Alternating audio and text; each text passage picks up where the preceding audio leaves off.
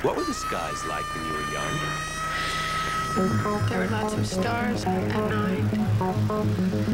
And uh, when it would rain, it would all turn. It, they were beautiful, the most beautiful skies, as a matter of fact. Uh, the sunsets were purple and red and yellow and on fire. The clouds would catch the colors everywhere.